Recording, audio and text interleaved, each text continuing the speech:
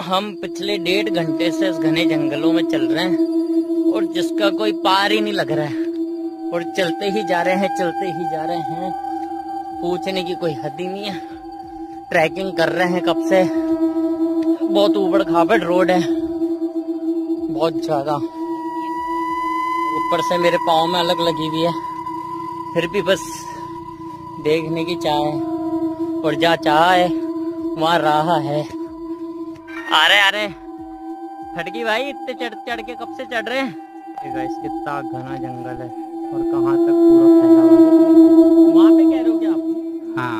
उधर कल कल तेंदुआ आया था। हाँ। अच्छा। बहुत घना जंगल है यार ये तो। चारों तरफ़ जंगल ही जंगल है। काफ़ी दूर घने जंगलों में। आप ये देखिए।